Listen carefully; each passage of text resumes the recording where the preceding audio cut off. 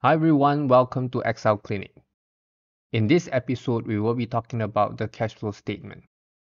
These three characters can sometimes be very scary to many accountants, but no worries, follow me, no OT.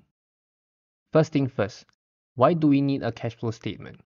IAS 7, which is the IFRS standard that talks about cash flow statement, says this. The financial statements users are interested in knowing how the entity generates and uses cash. Fair enough. Cash is important to a business. There are two methods of accounting. Cash accounting is the most basic way of accounting. It is acceptable in certain jurisdictions for small businesses, like sole proprietorships. Essentially, the profit under this method is the cash flow. So I don't think you need a separate cash flow statement.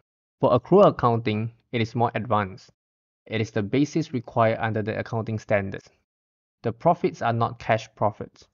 That is why you need a cash flow statement.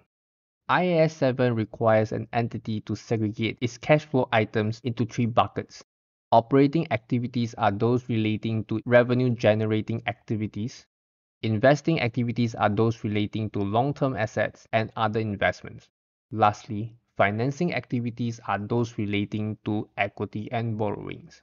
There are two methods allowed for operating cash flows, direct and indirect. This is only applicable to operating cash flows. For investing and financing, there's no choice. You have to use the direct method. What the direct method does is to group gross cash receipts and payments into major classes for disclosure.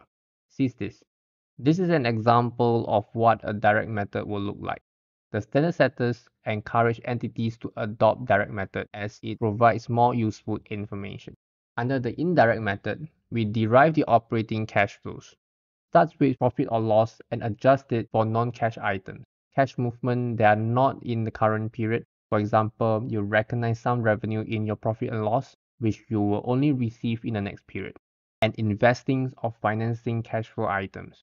The indirect methods looks like this. It is longer and very disappointing for the standard setter. It is a far more common method adopted in practice. It is easier to prepare. Accountants structure their cash flow workings differently, depending on their personal preferences and the complexity of the entities. There is one common practical challenge. It doesn't tally. Preparations of a cash flow statement can be tedious. After spending hours or even days, the computer ending cash balance does not tally with the balance presented on the balance sheets. The cash flow statement is very prone to error because of the manual work. One traditional way of preparing cash flow statements is to have a working file for each of the line items. You could have too many workings which then lead to more errors. And if there is an error because you have too many files, it is very difficult to troubleshoot. In this video, I would like to share with you my preferred way of doing cash flows. I call it the matrix. Nothing to do with the movie. I didn't invent this approach, but it is a common method used in the public accounting firms. Before I show you the method in practice, let me explain the concept. It will help you to understand the matrix method later on. If you're an accountant, you probably know about accrual accounting very well. Imagine you pay $10,000 for services over 10 years. What you will do is to recognize a prepayment of 9000 for the remaining 9 years and the expense for the year should be 1000. In other words, cash plus or minus other balance sheet movement equals profit.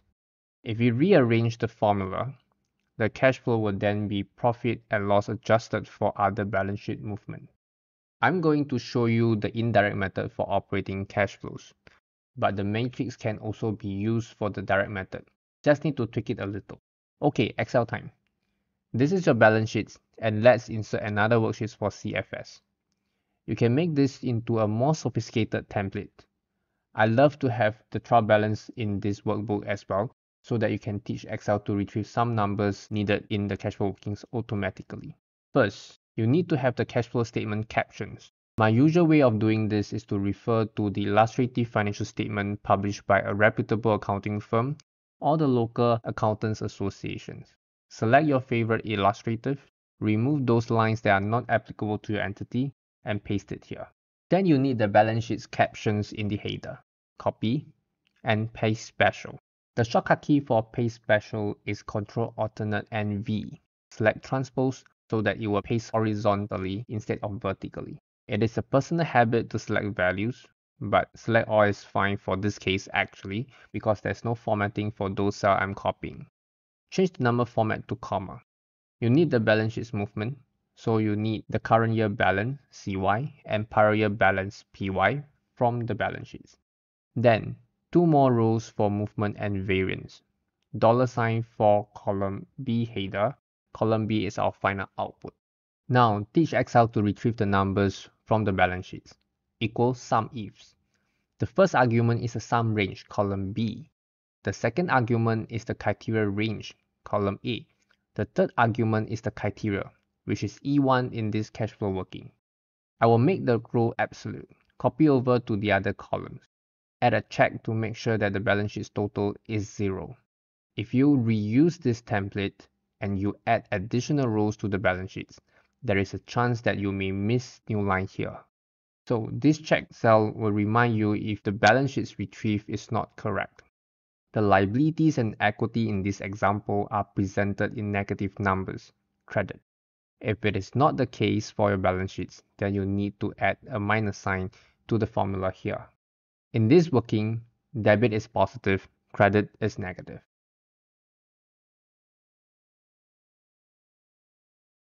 Then compute the movement. Essentially, what we will be doing is allocating the net movement to the respective cash flow captions. Do a variance check, sum the movement and the rest of the rows below. We will need a transfer column to do reclassifications, do a bit of formatting. Column B is the total of the movements allocated in the columns to the right. Then let's do the subtotals. The cash balance at 1st January is the opening balance. You will then sum the net increase and the opening balance. Okay, finally, another check. This is the final judgment, whether you did the cash flow correctly. The first line is the profit before tax. Profit for the year in our case here is the whole of the movement in retained earnings. But this is profit after tax. To remove the tax effects, let's take the net movement of deferred tax. The offsetting entry for deferred tax is usually in the profit or loss, then the current tax movement, then the current tax amount. Let me use my favorite account PPE as an example. You have a net movement of 8650. We need to allocate this into the relevant lines. We have our movement schedule here. Additions and disposal will go into investing activities and depreciations will be a non-cash adjustment to the profit before tax in the operating cash flows. Before we go back to the working file, let's take a look at the income statement as well. We have depreciation, which matches the movement in the PPE account and a gain on disposal of 200. As I mentioned earlier, cash equals profit and loss adjusted by the other balance sheets movement. So the cash flow arising from PPE account will be 11,650. Both the PPE account movement and related profit items are debit. So to balance off the equation, the cash flow will be 11,650 credit, cash outflow. Go back to the working and insert the numbers. Remember, the allocation will be in the opposite directions of the movement. Now, you can see that the variance is zero which means that the net movement in the PPE account has been fully allocated. Okay, one missing piece, the gain on disposal. The gain on disposal of a PPE item does not pass through the PPE account. So we have to do a transfer from operating activities to investing activities.